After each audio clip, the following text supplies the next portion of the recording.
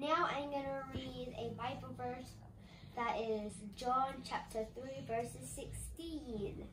For God so loved the world that he gave his one and only Son, that whoever believes in him will not perish, but have eternal life. Here, God loved us so much. He loved the world so much, so he gave his one and only Son, which means that his only Son.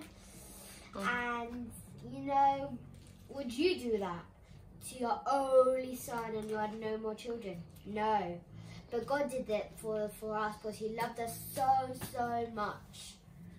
And here, whoever believed in his Son would not perish but have eternal life.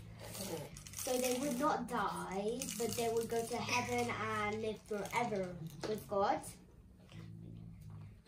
And so God sent Jesus, which is who is his only son, to come to us to teach us um, about God, to teach us the word of God, to help us with everything we needed for us to be to be healed, for us to have wisdom and knowledge.